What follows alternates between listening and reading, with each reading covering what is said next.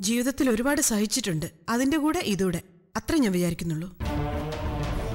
ഒളിച്ചോടി പേരുദോഷം കേൾപ്പിച്ചവളുടെ അമ്മ എന്ന സ്ഥാനം.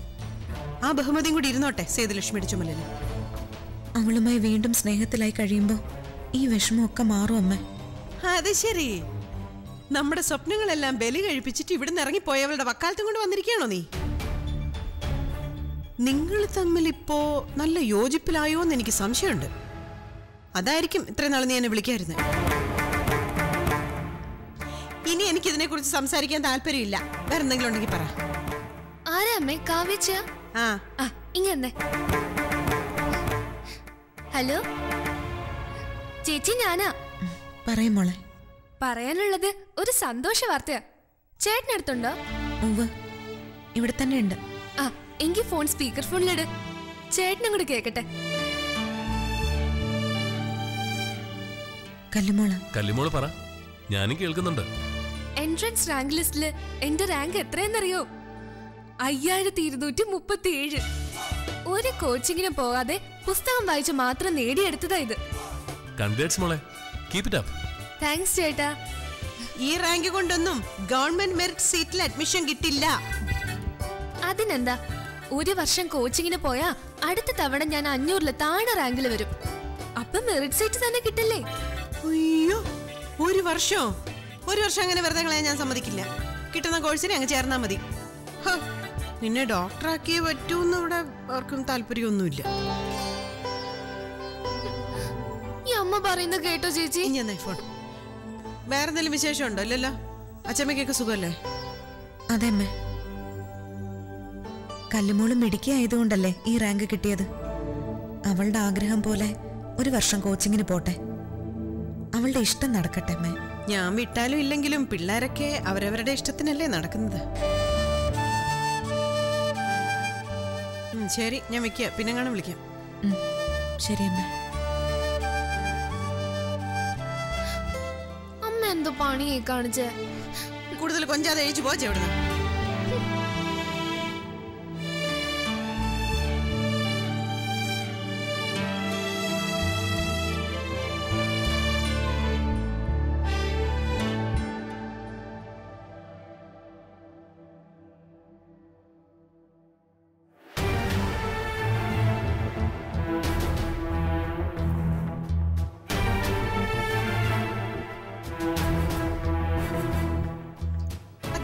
പോയത്? അത് മോളെ ഞാൻ നടക്കാൻ ഇറങ്ങിയതാ. ഈ നേരത്തോ? പ്രത്യേകിച്ച് ഉദ്ദേശമൊന്നുമില്ലാതെ അച്ഛൻ അങ്ങനെ വെയിലത്ത് പുറത്ത് ഇറങ്ങി നടക്കാറില്ലല്ലോ. മോളെ ഇറങ്ങിയപ്പോ വെയിലൊന്നും ഉണ്ടായിരുന്നില്ല. ചില പരിചയക്കാരെയൊക്കെ കണ്ട് സംസാരിച്ചു നിന്ന് സമയം പോയി.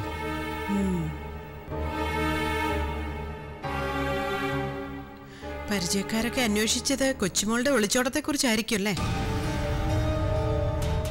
കീർത്തി പോയതിൽ ഇവിടെയുള്ളവരെക്കാട്ടിലും സങ്കടം നാട്ടുകാർക്കാ. പുറത്തിറങ്ങാതിരുന്നാലും ഫലമൊന്നുമില്ല. അറിയാവുന്നവരൊക്കെ ഫോണിൽ വിളിയോടെ വിളിയ. എന്തിനാ? സഹതാപം കാണിക്കാൻ. കൂട്ടത്തിൽ ഒരു കുത്തും കൂടെ ഇരിക്കട്ടെ എന്ന് എന്തുവാ? കലാക്ഷേത്രയിൽ നൃത്തം പഠിക്കാൻ വന്ന പെൺകുട്ടികളെ അച്ചടക്കം പഠിപ്പിച്ച സേതുലക്ഷ്മി ടീച്ചറിന് സ്വന്തം മോളെ അച്ചടക്കത്തോടെ വളർത്താൻ കഴിഞ്ഞില്ലല്ലോ എന്ന്. അങ്ങനെയൊന്നും ആരും കരുതുന്നുണ്ടാവില്ല മോളെ. ഒക്കെ നിന്റെ തോന്നലാ. തോന്നലൊന്നുമല്ല. പലരും നേരിട്ട് എന്നോടത് പറഞ്ഞിട്ടുണ്ട്. എന്റെ അറിവിൽ അമ്മായി മാത്രമേ അമ്മയെ കുറ്റപ്പെടുത്തിയിട്ടുള്ളൂ. വേറെ ആരും അമ്മയെ കുറ്റപ്പെടുത്തിയിട്ടില്ല. ഇത്രയ്ക്ക് ഉറപ്പിച്ചു പറയാൻ നീ എന്നോട് പുറത്തിറങ്ങി നടന്നിട്ടുണ്ടോ? എനിക്ക് വന്ന ഫോണിൽ എന്താ സംസാരിച്ചാൽ നിനക്ക് എങ്ങനെ അറിയാം? ഞാനൊരു കാര്യം ചോദിച്ചോട്ടെ? കീർത്തി ഇറങ്ങിപ്പോയ വിവരം അറിഞ്ഞ് നിന്റെ കൂട്ടുകാരികൾ എന്റെ ഫോണിൽ വിളിച്ച് നിന്നെ പരിഹസിച്ചിട്ടില്ലേ? ഇല്ലേ? അതുകൊണ്ടല്ലേ നിന്റെ ഫ്രണ്ട്സ് ആരും വിളിച്ച് എനിക്ക് ഫോൺ തരണ്ടെന്ന് പറഞ്ഞത്? മതി. ഇനി ഇക്കാര്യം കൂടുതൽ സംസാരിക്കണ്ട. വിധിച്ചതുപോലെ എല്ലാം നടന്നു സമാധാനിക്കുക. അത്ര തന്നെ. വല്ലാത്ത ദാഹവും തളർച്ചയും. സംഭാരം ഇത്തിരി ഉണ്ടെങ്കിൽ എടുക്കും മോളെ. ഇരിപ്പില്ല ഉണ്ടാക്കി തരാം.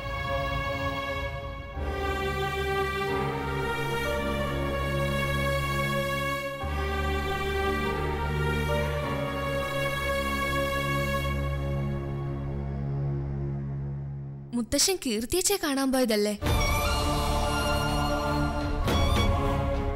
മുത്തശ്ശന്റെ മുഖം കണ്ടാൽ അറിയാം ഞാൻ ഊഹിച്ചത് ശരിയാണെന്ന്.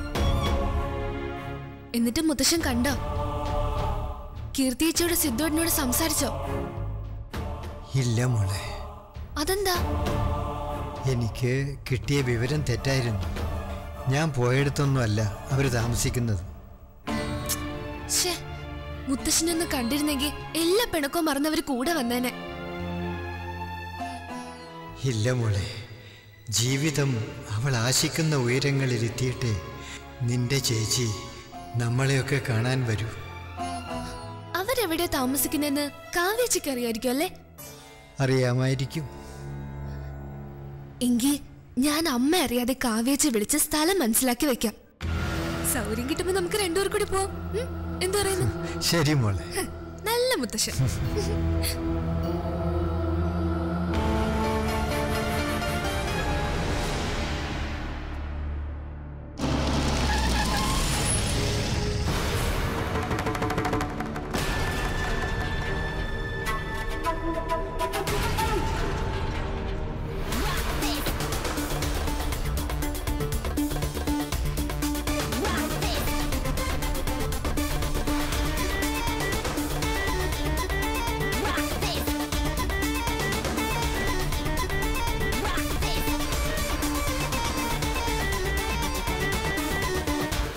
സിദ്ധുവിന്റെ വീട് തേടി ഇവിടേക്ക് ഒരുപാട് അലഞ്ഞു. ഒടുവിൽ ഒരാളോട് ഈശ്വരമഠത്തിൽ ജോലി ചെയ്തിരുന്ന സിദ്ധാർത്ഥന് ചോദിച്ചപ്പോ അയാൾ പറയാ തട്ടിപ്പുകാരന്റെ വീട് അങ്ങനെ ചോദിക്കണ്ടേന്ന്. എന്നിട്ട് വഴി പറഞ്ഞു തന്നു ഞങ്ങളെ അപമാനിക്കാൻ വേണ്ടിയാണ് ഇങ്ങോട്ട് വന്നത്. അല്ലേ അല്ല. ഞാൻ വന്നത് നിനക്ക് മുന്നറിയിപ്പ് തരാനാ. ഈ കുങ്കുമക്കുറി ഇങ്ങനെ എന്നും തിരുനെറ്റിയിലുണ്ടാവുമെന്ന് കരുതണ്ട. താലി അഴിച്ചു വച്ച് സ്വന്തം വീട്ടിലേക്ക് മടങ്ങുന്നതാ നിനക്ക് നല്ലത്. ഈ താലി എന്റെ കഴുത്തിൽ വീഴാതിരിക്കാൻ പഠിച്ച പണി പതിനെട്ട് നോക്കിയതല്ലേ നീ? എന്നിട്ട് എന്തായി? ആരാ ജയിച്ചത്? ഞാനല്ലേ? ഇനി നീ വിചാരിച്ച എന്നെ ഒന്നും ചെയ്യാൻ കഴിയില്ല. എന്നെ ചേർത്ത് പിടിച്ച കൈകൾക്ക് എന്നെ സംരക്ഷിക്കാനുള്ള കരുത്തുണ്ട്. അതുകൊണ്ട് ഈ താലി മരണം വരെ എന്റെ കഴുത്തിൽ കിടക്കും.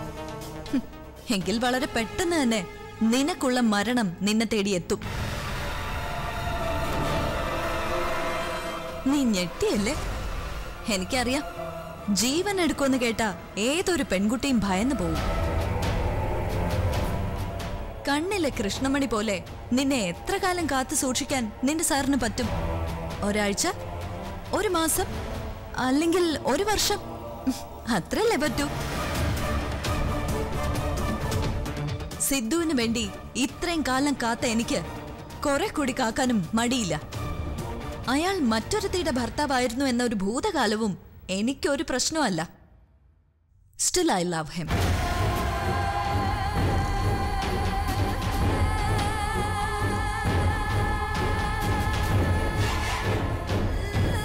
ആ സിദ്ധു? അല്ല നിങ്ങൾ എന്താ എന്നെ അകത്തേക്ക് ക്ഷണിക്കാത്ത? ഞാൻ നിങ്ങളുടെ ഗസ്റ്റ് അല്ലേ? അല്ലേ കീർത്തി? ഒരു ഗസ്റ്റിന്റെ നാവിന്ന് വീഴേണ്ട സംസാരമല്ല ഞാനിപ്പോ കേട്ടത്. അത് പിന്നെ എന്ത് ചെയ്യാനാവും? കെഞ്ചി കരഞ്ഞ ശിവാനിക്ക് ശീലമില്ല. പിടിച്ചെടുക്കാറാ പതിവ്. സിദ്ധുവിനും അറിയാ. ഇവിടെ എന്ത് പിടിച്ചെടുക്കാനാ നീ വന്നത്? ഞങ്ങളുടെ മനസമാധാനോ ഹും, അതൊക്കെ പണ്ടേ പോയില്ലേ സിദ്ധു?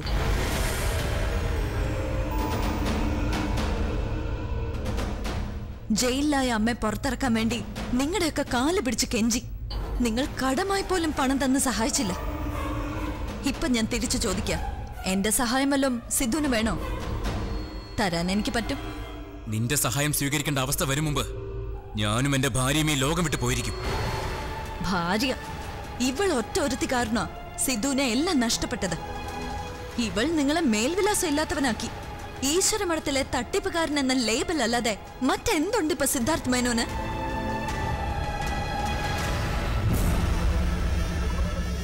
അധികം വൈകാതെ നാട്ടുകാർ നിങ്ങളെ ഇവിടുന്ന് പുകച്ച് പുറത്തു ചാടിക്കും.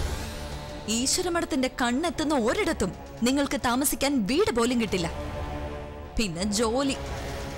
നിങ്ങളുടെ കരിയർ തീർന്നു സിദ്ധു. രക്ഷപ്പെടാൻ ഒരേ ഒരു വഴി ഇവളെ ഇവളുടെ വീട്ടിൽ കൊണ്ടാക്കുക. എന്നിട്ട് എന്നിലേക്ക് മടങ്ങി വരിക. സിദ്ധുവിനെ സ്നേഹിക്കാൻ ഇനിയും എനിക്ക് പറ്റും. നിനക്ക് ഭ്രാന്താണ്. ഒരിക്കലും നിന്നെ ഞാൻ വിവാഹം കഴിക്കില്ലെന്ന് നിനക്കറിയാം. എന്നിട്ടും വലിഞ്ഞു കയറി വന്നിരിക്കുന്നു. എന്റെ ഭ്രാന്തന്റെ പേര് സിദ്ധു എന്നാണെന്ന് ഞാൻ പണ്ടേ പറഞ്ഞിട്ടുള്ളതാ.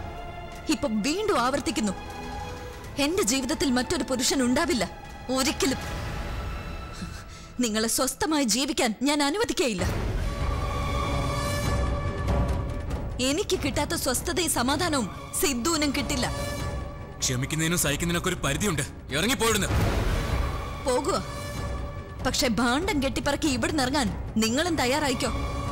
എന്റെ കൺമുന്നിൽ ഒരിടത്തും ജീവിക്കാന്ന് നിങ്ങൾ വ്യാമോഹിക്കണ്ട. കുറിച്ചിട്ടോ? ശിവാനിയാ പറയുന്ന.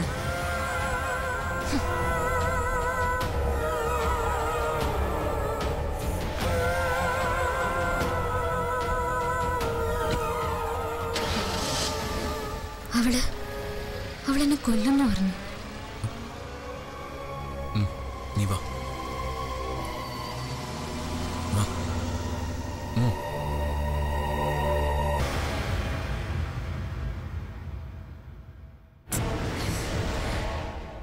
കീർത്തിയും കള്ളക്കൂട്ടങ്ങളാണെന്ന് എത്ര പറഞ്ഞിട്ടും അവരെ ഇറക്കി വിടാൻ ആ ഹൗസ് ഓണർ തയ്യാറാവുന്നില്ല മോളെ.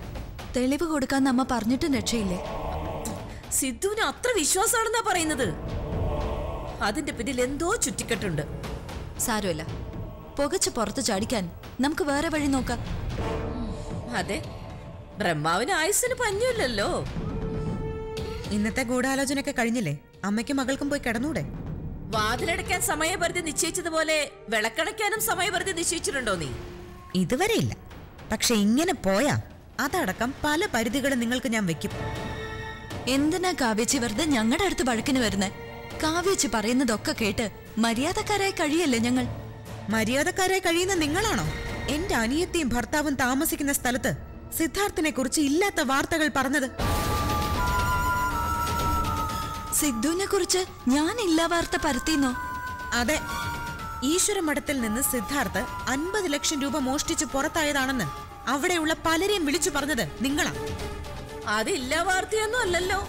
സിദ്ധു കള്ളനാണെന്ന് ആദ്യം വിളിച്ചു പറഞ്ഞത് നീ തന്നെയല്ലേ. ഞാൻ അങ്ങനെ പറഞ്ഞു എന്ന് വരുത്തി തീർക്കാൻ നിങ്ങളും നിങ്ങളുടെ മകളും ശ്രമിക്കുന്നുണ്ടെന്ന് എനിക്കറിയാം. പക്ഷേ ഇനിയും അതിന് തുനിഞ്ഞിറങ്ങിയ? ഇവളെന്റെ ഭർത്താവിന്റെ അനിയത്തിയാണെന്ന കാര്യം ഞാനങ്ങ് മറക്കും. പോലീസ് സ്റ്റേഷനിലും ജയിലിലും കിടക്കുന്നതിന്റെ സുഖം നിന്റെ അമ്മ നല്ലതുപോലെ അറിഞ്ഞതാ. ഇനി അത് നിനക്കും പരീക്ഷിക്കണോന്ന് നീ തന്നെ ആലോചിച്ചാ മതി. ഈ ഉമ്മാക്കി കാട്ടി നീ ഇവളെ ഒരിക്കൽ വരട്ടിയത് ഞാൻ അറിഞ്ഞു. എന്നിട്ട് എന്താ കേസ് കൊടുക്കാത്തത്? അമ്പത് ലക്ഷത്തിന്റെ സോഴ്സ് വെളിപ്പെടുത്തണമെങ്കിലേ നീ നിന്ന് വിയർക്കും. ഒട്ടും വിയർക്കില്ല. കാരണം നിങ്ങൾക്കില്ലാത്ത ഒന്ന് എനിക്കുണ്ട്. ബുദ്ധി. ഞാൻ വിചാരിച്ച അൻപത് ലക്ഷത്തിന്റെ അല്ല എത്ര കോടിയുടെ തട്ടിപ്പും ഇവൾ നടത്തിയതായി തെളിവുണ്ടാക്കാൻ പറ്റും. നിങ്ങളുടെ സാമ്പത്തിക തിരിമറികൾ കണ്ടെത്തി അക്കൗണ്ടുകൾ പൂട്ടിച്ചില്ലേ? അതുപോലൊരു കുരുക്ക് ഇവൾക്കൊരുക്കാൻ ഇവളുടെ മുൻകാല ചെയ്തികൾ തന്നെ ധാരാളമാ കാണണോ നിങ്ങൾക്ക്? വേണ്ട. എങ്കിൽ അടങ്ങി ഒതുങ്ങി ഇവിടെ കഴിഞ്ഞോണം. സിദ്ധാർത്ഥിനെയും കീർത്തിയെയും അവരുടെ വഴിക്ക് വിട്ടേക്കണം. മനസ്സിലായോ? ആയി പറഞ്ഞത് നിങ്ങളോടും കൂടിയാ. ഇപ്പൊ കിട്ടുന്ന സ്വാതന്ത്ര്യം കൂടി നശിപ്പിക്കാതിരുന്ന നിങ്ങൾക്ക് കൊള്ളാം.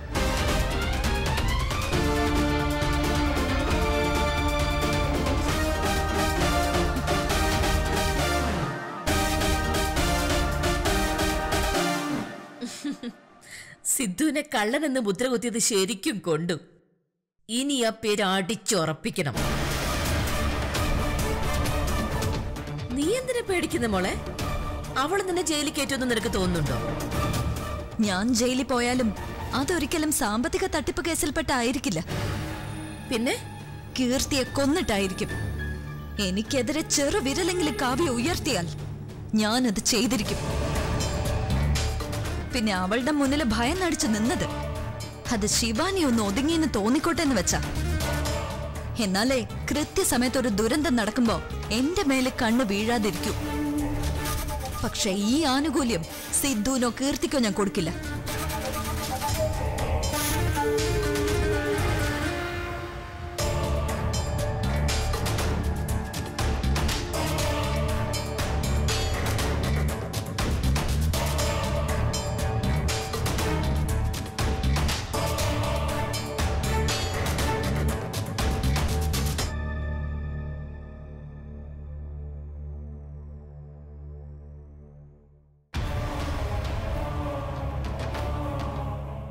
എന്തു പറ്റി?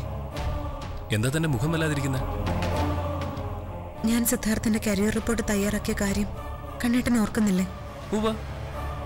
സിദ്ധു നമ്മുടെ കമ്പനിക്ക് നേടിത്തന്ന ഓരോ അച്ചീവ്മെന്റ്സും എടുത്തെഴുതിയ ആ റിപ്പോർട്ടിന്റെ പേരിൽ.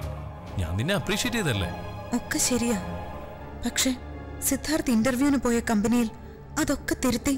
ഞാൻ ഒപ്പിട്ട അവസാന പേജ് മാത്രം നിലനിർത്തിയാണ് അത് എത്തിയത്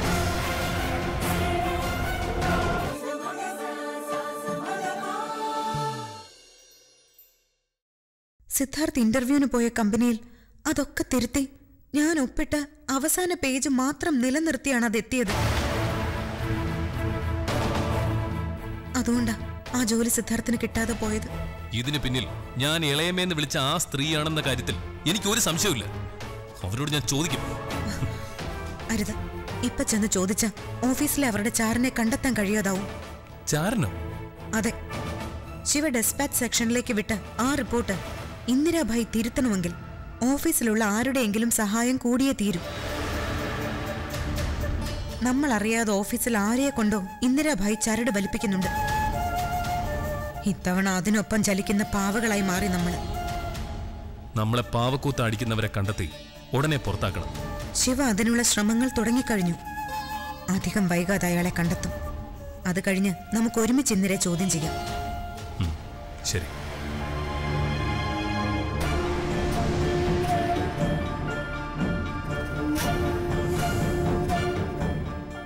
ജീവിതം എന്ന് പറഞ്ഞ എപ്പോഴും ഇങ്ങനെയാ. ഒരു സന്തോഷം ഉണ്ടായ ടെൻഷൻ താനെ പുറകെ വരും. ചന്ദ്രഹാസൻ വിളിച്ച കാര്യം പറയാൻ ഞാൻ ഓടി വന്നപ്പോഴാ നിന്റെ വിഷമം കണ്ടത്. എന്റെ സങ്കടങ്ങളൊക്കെ ഞാൻ കളഞ്ഞു. പറയേ എന്ത് സന്തോഷ വാർത്തയാ ഡയറക്ടർ സാർ പറഞ്ഞത്? ചന്ദ്രഹാസൻ അന്നൊരു പ്രൊഡക്ഷൻ അലയൻസിനെ കുറിച്ച് സൂചിപ്പിച്ചില്ലേ? സിനിമ നമ്മൾ തീർത്തു കൊടുത്ത വേൾഡ് വൈഡ് സിനിമ റിലീസ് ചെയ്യാൻ അവർ തയ്യാറാ.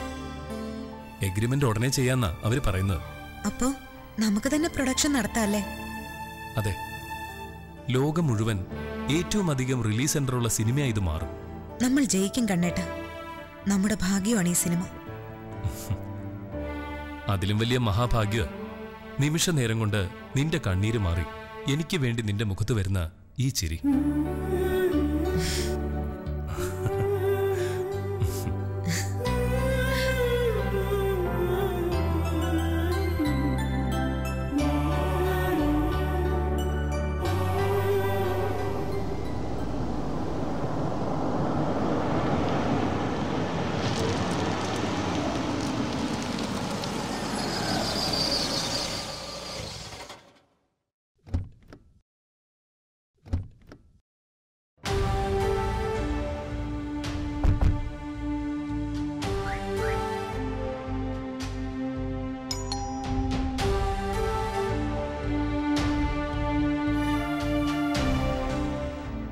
മാഡം ഞങ്ങൾ ഡി വി ഫിനാൻസിൽ നിന്ന് വരികയാണ്.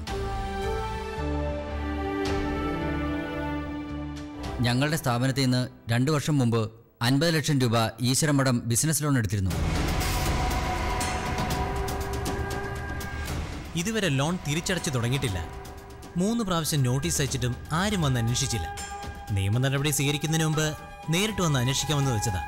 ഏത് ബാങ്കെന്നാ പറഞ്ഞേ? ഡി വി ഫിനാൻസിയേഴ്സ് ഇപ്പോൾ ഈശ്വർ മഠത്തിന്റെ ബിസിനസ് കാര്യങ്ങൾ നോക്കുന്നത് ഞാൻ. എന്റെ അറിവിൽ ഞങ്ങൾ സ്വകാര്യ പണമിടപാട് സ്ഥാപനങ്ങളിൽ നിന്ന് ഇതുവരെ ലോണൊന്നും എടുത്തിട്ടില്ല. രണ്ടു വർഷം മുമ്പ് മാഡം തന്നെയായിരുന്നോ ബിസിനസ് ഒക്കെ നോക്കിയിരുന്നത്? അല്ല അച്ചമ്മയായിരുന്നു. വിജയലക്ഷ്മി മാഡത്തെക്കുറിച്ച് ഞങ്ങൾക്ക് നന്നായിട്ട് അറിയാം അതുകൊണ്ടാണ് അവരുടെ ഗ്രാൻഡ് സൺ ചോദിച്ചപ്പോൾ തന്നെ ഞങ്ങൾ അൻപത് ലക്ഷം രൂപ ലോൺ സാങ്ഷൻ ആക്കിയത്. നോക്കൂ നിങ്ങൾ തെറ്റിദ്ധരിച്ചിരിക്കുകയാണ്. ഇവിടെ ആരും അങ്ങനെ ഒരു ലോൺ എടുത്തിട്ടില്ല. ഒരു കാലത്തും ഈശ്വര മഠത്തിന് ഒരു പ്രൈവറ്റ് കമ്പനിയുടെ ബിസിനസ് ലോൺ ആവശ്യമായി വന്നിട്ടില്ല. എന്ന് പറഞ്ഞാൽ എങ്ങനെ? ഈശ്വര മഠത്തിന്റെ ആധാരം വാങ്ങി വെച്ചിട്ടാ ഞങ്ങൾ ലോൺ കൊടുത്തത്.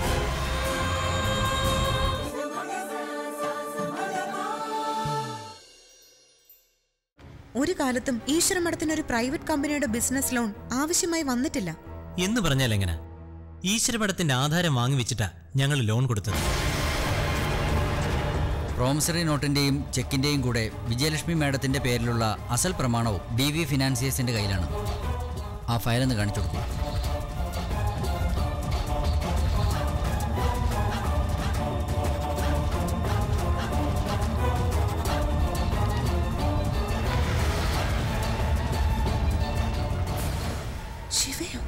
മിസ്റ്റർ ശിവയാണ് വിജയലക്ഷ്മി മാഡത്തിന് വേണ്ടി ലോൺ എടുത്തത്.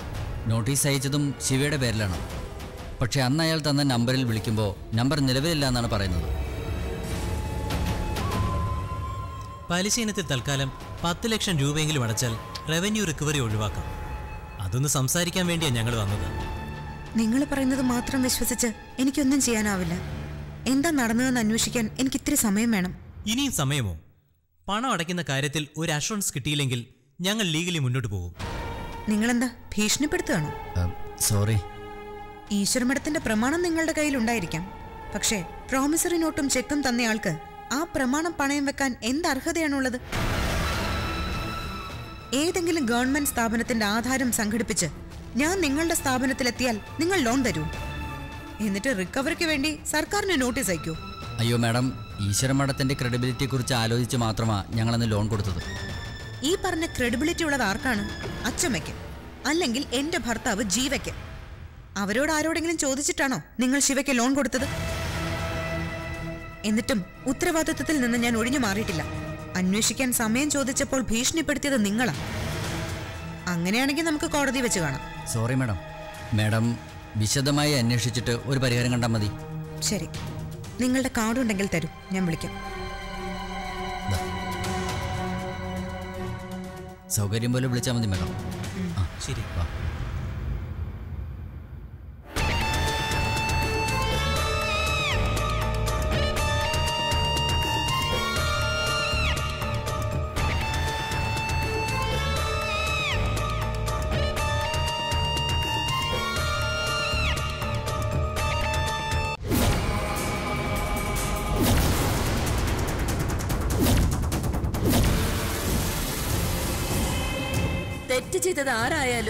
ശിക്ഷ അനുഭവിക്കണമെന്നുള്ള ന്യായം പറഞ്ഞ് നിന്നെ ജയിലടക്കാനായിരുന്നു അവളുടെ ഭാവം.